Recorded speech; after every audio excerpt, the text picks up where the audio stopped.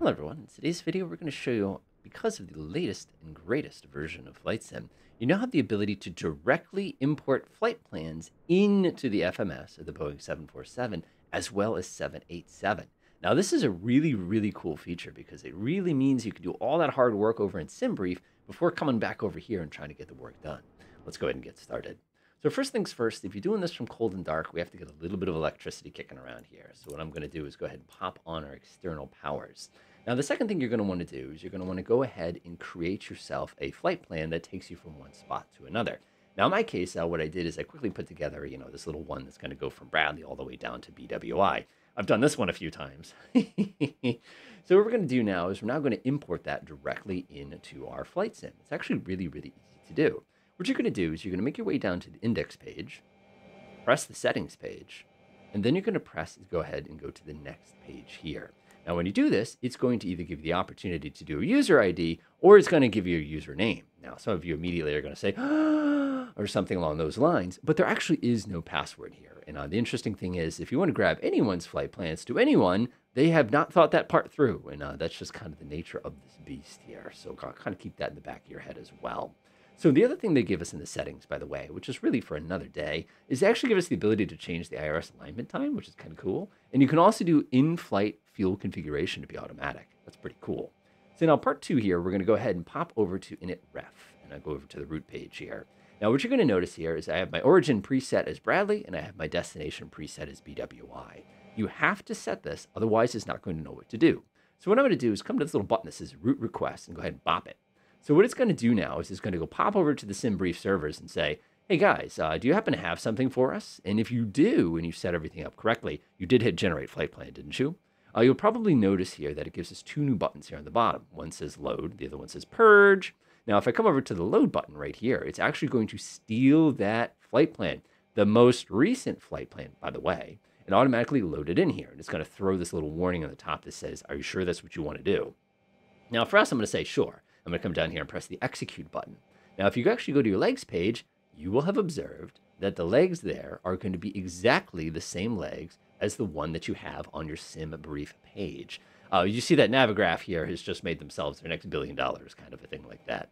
But you can actually see here that all the waypoints got sucked right in, including all of our critical uh, airways and things like that. Now you're probably saying, well, I say uh, BizX here, but I don't see Quebec 7.5. What's the deal with that? Uh, it's because it put each waypoint in individually rather than do it where you have like the VIA and everything along those lines. Go ahead and pull that back out of the way so you can uh, kind of see the fun here. Again, we can surf through, we can see all of our stuff. Notice, by the way, its terminus is Nuggy. It did not import any of our tricky stuff as far as, you know, what Bradley's, um, what we're going to be doing as far as approaches goes. We still have to go in and settle that up ourselves.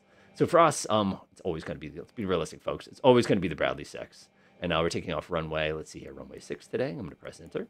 To go back over to departure and arrival, press the arrival key. Look at how simple this is. Now I have to just shoot, uh, choo choo. I believe it's uh, Trish 3 today. Trish 3, uh, we're going to go via Nuggie because that's going to be our last waypoint. And of course, our approach, and again, I'm just reading this right off the website there, is going to be tree tree left, I believe, today. So let's see here, 3 3 right. Ha! Huh. Apparently, 3 3 left is just not popular. Whatever, we'll do 3 3 right. I'm fine with that. Press execute. And of course, the last couple things we have to do here is we have to clean this business up. I'm just going to delete that vectors. That doesn't do anything for us. Check, check, check, chickity check, chickity check. Click, click. Let's go ahead and clean up that vector as well. Chickity check. Ba, ba, ba, ba, ba. Beautiful. And that's it.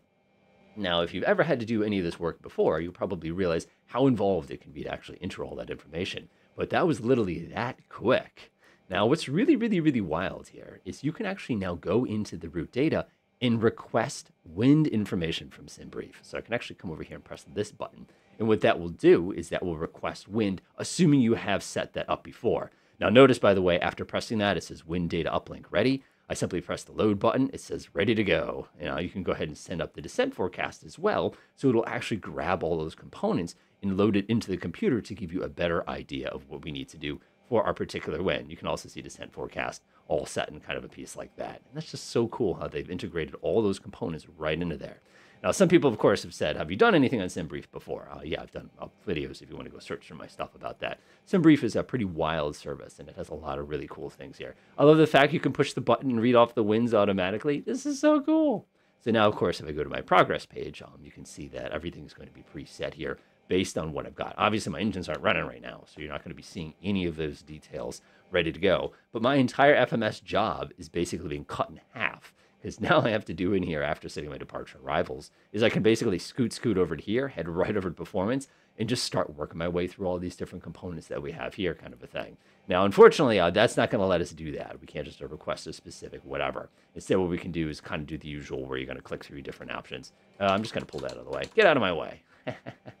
we can go ahead and do the standard where you just kind of click it with your mouse, kind of a thing like that. It's a little different. Again, there's going to be no reserves button. You can just dial that in manually.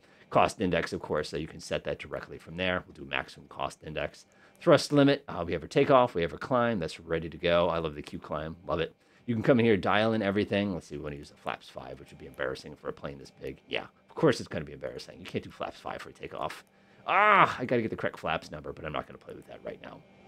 But you can see just how quickly it is possible now to enter entire flight plans instantly just by setting them up in SimBrief, which does all kind of the hard work for you, and then grabbing them over here to go ahead and make your life a lot simpler. Enjoy.